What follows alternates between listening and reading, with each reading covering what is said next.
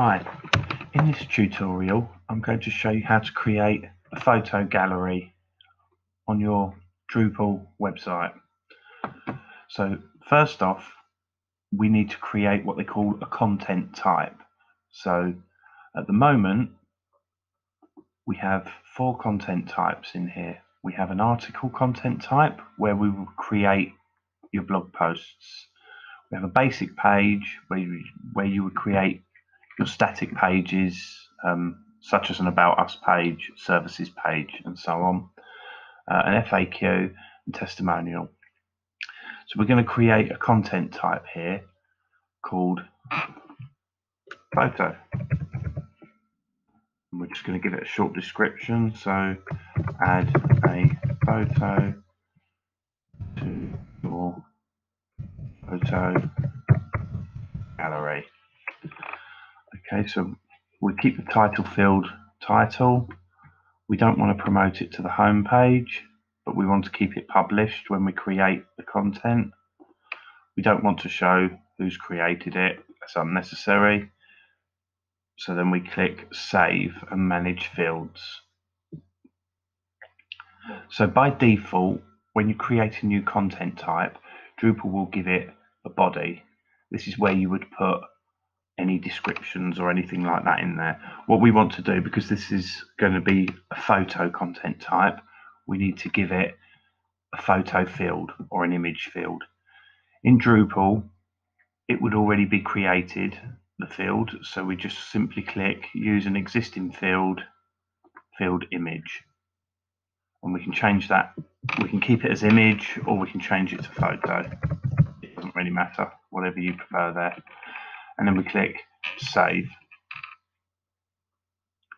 So then we need to tell it whether we want it required. Being that this is a, photo content type, we want to we want it required. So we'll tick that box. Um, you can give it you know, sort of different file extensions. Um, it lists the most common ones anyway, so PNG, GIF, JPEG, and so on. Um, we want to give it all of our images alt tags.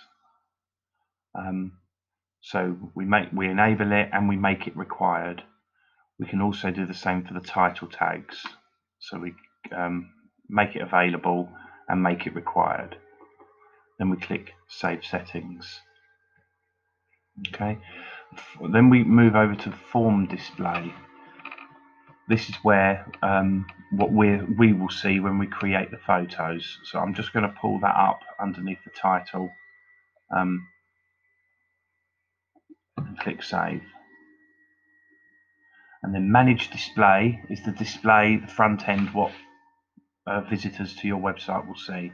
So we want the photo at the top, then we want the body, the description, anything we're going to write in there underneath it, and then the links underneath that. Then we click save. So body, uh, the photo, we don't want the label for the photo to be shown, so I'm going to hide that. And that's it. Now what we do is when we go to our content types now and add con to add content, we've now got our new photo in there. So I'm going to add our first photo.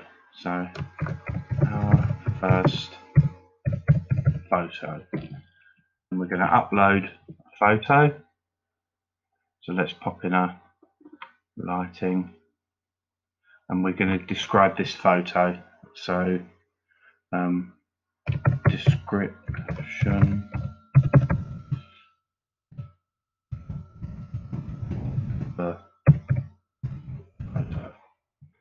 That's the old that's the alt, alternative text, old tags, and that's the title that we made that we have to put in.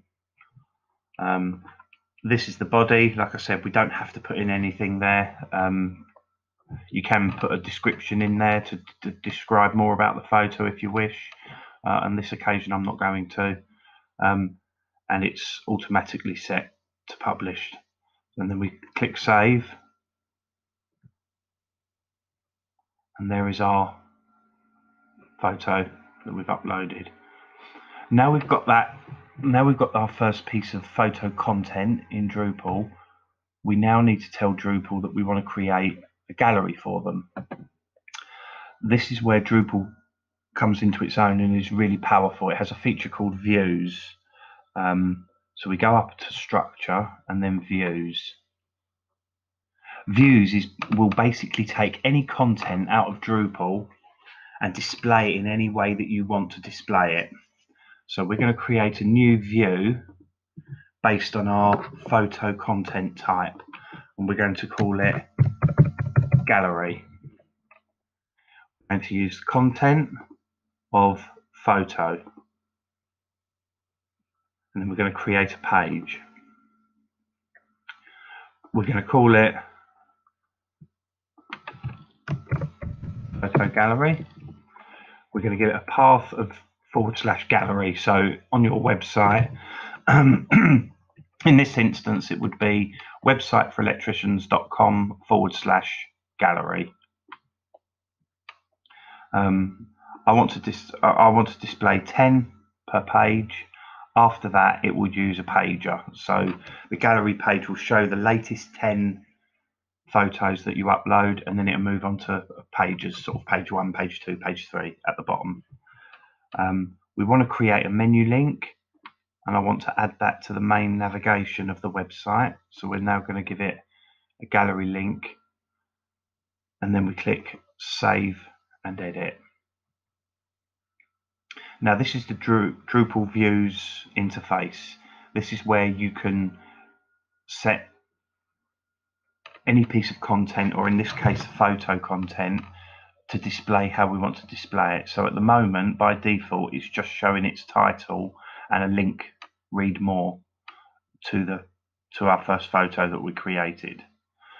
So what we need to do is, I want to create them as grids. So I want to put them as a grid, and I want two columns across and then we literally leave everything else and click apply. It will then show them as grid. In here, I don't want to show the teasers. I want to show them as fields. I want to show the fields. So the fields being um, what we added earlier on when we added the photo field, when we added the image field. So we click apply and then apply again. Okay, so at the moment, it's now just showing the title for that. Now what we want to do is add a field. so we come down here and find the image field. And it says here appears in article photo, also known as content photo, which is what we called it earlier on. So we're going to add that. then what we can do is tell it what size we leave the image formatter to image. You can have a link to the image if you like, but obviously in this case we're, we're doing a gallery, so we want to show the image itself. Here you can create different image styles in Drupal. In this case, I've got a few here. So we've got large, medium, thumbnail, and so on. So I want to use large as the image style to, sh to show, and we want to link it to the content, to the actual main page of where, where we created the content itself and then we click apply. It will now show the image and the title. Um, you can hide the title if you wish. You click onto the title and you can you can exclude from display. Um, in this case, I'm not going to do that. So that there is our view. That's how we want to display our photos in our photo gallery. So I'm going to click save. Now if we go back home and go back to the site, we've now got our gallery link here. So we go into there and there you go, there's our first image that we created in the gallery. So if we click on that, it takes them to the main photo that you created and obviously if you had any description of the of the of the photo that would be down here Okay, so we're going to create another piece of content. There's another another photo. We're going to call that photo two. And upload another photo. And we will just copy and paste those into there for quickness. Obviously, you would give a better description on both of those um, and click save. We'll have another, we'll add another one, photo. We'll upload another photo. Call that photo three. Yeah, simple and quick it is to actually add photos. Um, okay, that's photo three. So we've now got three photos. So if we go back to the gallery view that we created, we have now got those three photos in the gallery set out as a grid as two across. And that would just keep, as you keep creating the content, the photos, they would keep being added here. Um, obviously, if you don't want to show this bit here and you just want to show the photos, what we can do to edit this view that we created, we can come here to this little pencil icon and click edit view. Okay, so we're back here. So um, I want to hide that title now and only show the image. So we click on the title and we'll exclude it from display click apply, click save. This will take us back to the image gallery, the photo gallery, and there you go. There's no title showing just the images. Again, you can change the, the image sizes all inside the view. You can you can decide how many across that you want. So we can go back to the grid settings and actually we want three across click save. Then we get three across and so on. That all makes sense um, and that you've created your first photo gallery in Drupal.